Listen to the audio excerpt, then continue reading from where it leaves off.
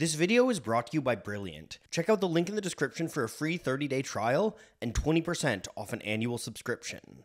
I don't know about you, but I feel like anytime I try to ask anybody about the music they listen to these days, I get some variation of the same answer.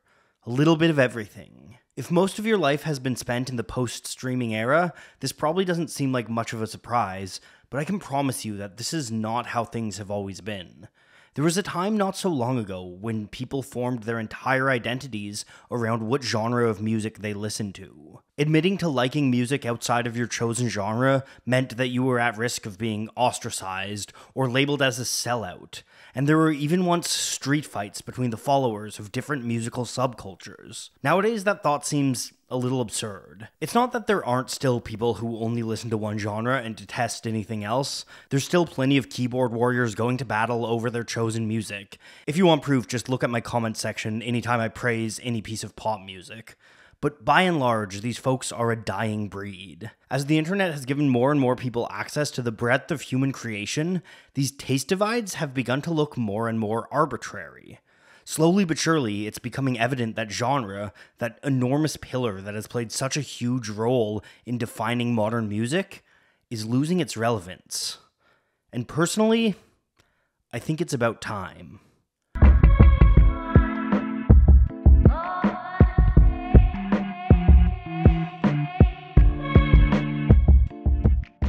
For basically as long as humans have been making art, we've been trying to categorize it. Aristotle wrote about genre all the way back in 335 BCE in his work Poetics. That conception of genre is a lot stricter than our modern one, but it laid the groundwork for generations of trying to fit art into neat and tidy boxes. The only problem is that art doesn't really fit into neat and tidy boxes.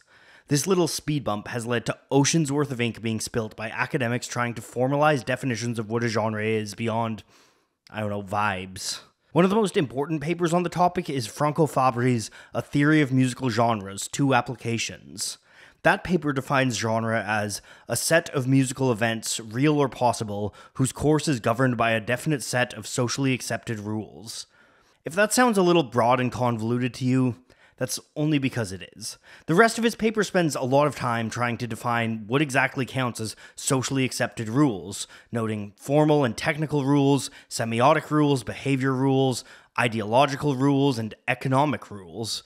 It's an interesting paper if you've got the stomach for this sort of academic language, but I don't really. I have no delusions about the fact that I am not an academic. So if you want to dive more into this, ask 12 Tone or something. The point that I'm trying to get across here is that formalizing any sort of definition of genre is hard.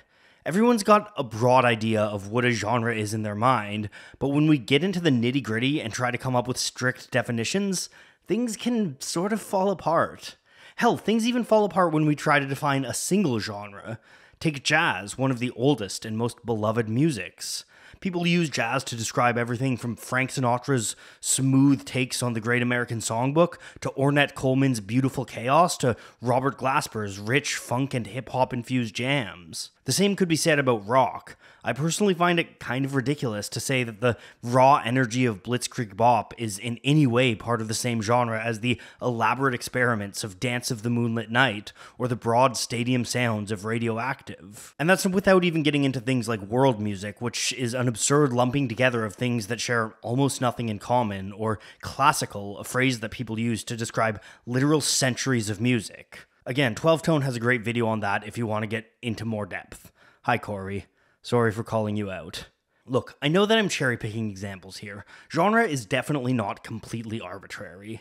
As diverse as Blitzkrieg Bop and Moonlit Knight are, they do both feature similar collections of instruments, and they do both trace their roots to the same origins. Of course, country music also features many of the same instruments and traces its roots to the exact same origins. And that gets us to one of my biggest problems with genre as we conceptualize it today. You see, many of the main genres that we categorize music with today date back a century to a divide that was pretty arbitrary and built on racial lines. In the 1920s, the recording industry was entering its first boom. Recording technology had become cheap enough in America that it was accessible to customers across all economic classes. For the first time, a market started to develop for music by black artists intended for black audiences. But America was still a fully segregated nation, and that segregation carried through to the music industry. So record companies began to market music by black artists as race records. These records would eventually prove to be hits across racial lines, and many of the best selling records of the era were race records, launching a generation of black performers into stardom. I'm not going to pretend that there's no cultural difference between black and white musicians of the day, but the difference was not so drastic that it warranted sectioning off black musicians entirely. This is especially true when it came to poor white musicians, who often shared a lot more in common with the black musicians of the day. The best example of this might be Jimmie Rodgers, the man who is now called the father of country music. The hit that launched Rodgers into stardom was Blue Yodel Number 1, T for Texas, a 12 bar blues based on songs that Rodgers had picked up from rail workers and vaudeville shows. The only difference between T for Texas and many of the black blues songs being recorded at the time was Rodgers' patented yodel, pulled from Appalachian folk music. But even that wasn't unique. Tommy Johnson did very similar yodeling in his own blues music. Nevertheless, Rodgers' music was placed on a different shelf than Johnson's. And what spun off from that separation was the genre that would eventually be called country music. Today we can look at country, jazz, and blues as very different things, but back then, Louis Armstrong, the jazz legend, recorded a song with Jimmie Rodgers. Segregation explicitly changed the paths of these musics, and many of them carry that legacy to this day. Just look at the response to Lil Nas X's Old Town Road and Beyonce's take on country, Cowboy Carter. The legacy of racial divides in genre can be felt beyond country too. At the 2020 Grammys, Tyler the Creator's Igor won Best Rap Album, despite clearly being a pop album. Tyler himself called that a backhanded compliment, saying that the Grammy Awards' urban categories were a politically correct way of saying the N word. It's not that all genre is evil or entirely useless, but it's really hard to divorce that racial history from genre as we understand it now. The modern iteration of the musical genre is a construction of the music industry. At its core, it exists to make it easier for people to buy records that they like. The industry wants people to be divided up so they can sell identities to them. And often this can mean turning those identities against each other. When two subcultures are supposedly going to war, record sales for both will go up. To be clear, genre is not entirely a bad thing. In the days when physical media reigned supreme, it was pretty useful to have easy categorizations, even if they could be arbitrary and problematic in their origins. If you were going to spend your hard earned money on a record you'd never heard, you wanted a good sense as to whether you'd like it or not. And if you were a musician, it was beneficial to be able to describe your sound to people, or to find like minds and form a scene. Genre ties were the core of all sorts of scenes that united to create fantastic music and even drive social change. As a piece of social technology, it's possible that genre has done as much good as harm. I know that in my life, genre was one of the main ways that I conceptualized music and understood my own tastes for a long time. But I think that social technology is becoming obsolete. Between the 1920s and 1990s, we easily had a dozen different distinct genres emerge. But last time we've had a truly novel new genre come about, at least in the mainstream, was probably EDM. And that happened anywhere from 25 to 40 or even 50 years ago, depending on how you want to define things. I guess if you really wanted, you could call hyperpop the newest genre, but I don't think that it'll ever reach the sort of widespread penetration and adoption that the latest wave of genres like hip hop and EDM did. Please feel free to dunk on me if and when I'm proven wrong on this one, though. What we have today instead of new genres is a parade of increasingly fractionalized subgenres and microgenres movements that often have no central cohesion, or movements with very little room to grow in their aesthetic. Things like chillwave or nightcore, pirate metal, country gaze, or squee. As far as I'm concerned, a lot of these are really stretching any sane definition of genre. Half of them are little more than a meme, and the rest are incredibly narrow descriptors. There's definitely a temptation to go all old man yells at cloud here and say this is why music was better back in the day, but I just don't believe that. I don't have a problem with any of these musics. I think it's absolutely amazing that we live in a world where people have the technology and access to mash up bizarre cultural influences and create these hyper specific kinds of music. I just think that In this world, the bounds of genre are fast dissolving to the point that there's very little value in relying on them at all. Genres are a relic from an age of monocultures, an age when people divided themselves fiercely along aesthetic lines because that was the best way of making sense of the world and of their place within it.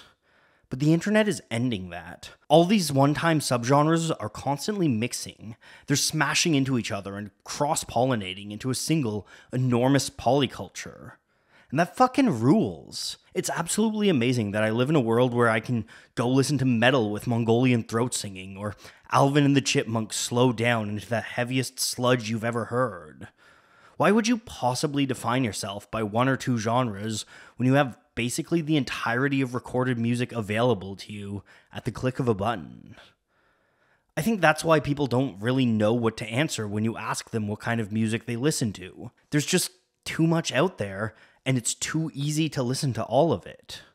Genre's obsolescence stretches beyond this self identification, too. It used to be a useful means of finding new music, and it definitely still can be, but these days far more people are finding new music without searching, thanks to the increasing dominance of recommendation algorithms.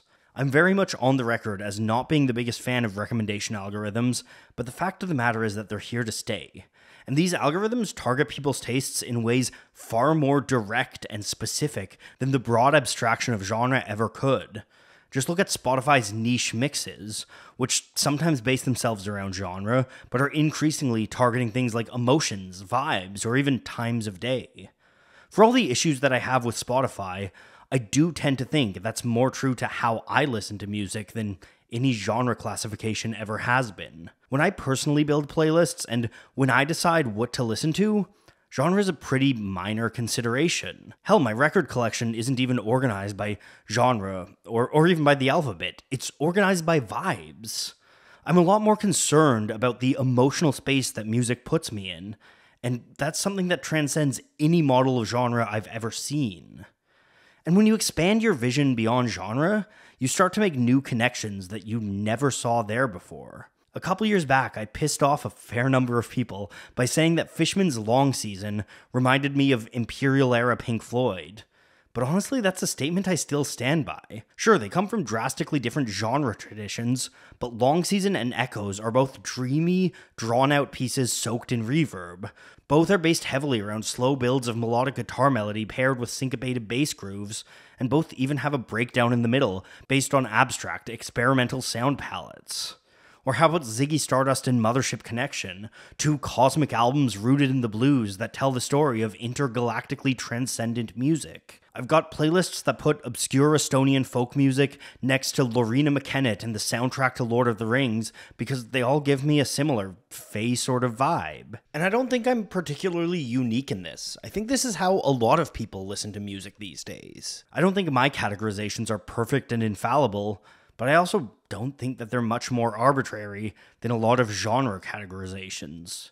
You don't need to agree with them, and in fact, I'm happy if you don't. Just please don't disagree solely on the bounds of genre, because frankly, there's a lot more out there than that. I don't think genre is ever truly going to die out entirely.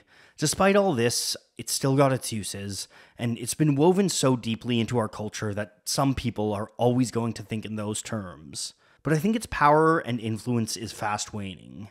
And personally, I'm ready for a world where we can find more interesting ways of defining music. I've always been a bit of a fiend for knowledge, whether that's within the musical world or without. And that's why I'm stoked to tell you about this week's sponsor, Brilliant. Brilliant is a site with thousands of lessons in all sorts of STEM topics, from math to data analysis to programming and AI. It's a place where you can learn by doing thanks to their beautiful interactive lessons.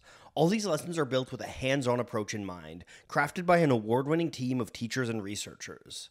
If you're looking for a place to start, you could check out How LLMs Work, which teaches you the ins and outs of AI language models. In that course, you'll be able to get your hands dirty with real language models, understand the importance of training data, and learn how to fine tune your language to help these models serve your purposes. You can love or hate AI, but the reality is that this technology is here to stay, so why not try to get a better understanding of how it works?